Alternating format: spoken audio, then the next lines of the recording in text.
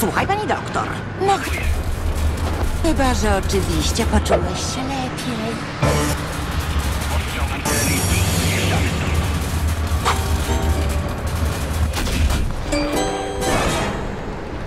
Eee... Kampu kamp? Raz jeden cesarz kąpiel brał i Kuzko miał na imię K-U-Z-K-O K-U-Z-K-O K-U-Z-K-O i Kuzko miał na imię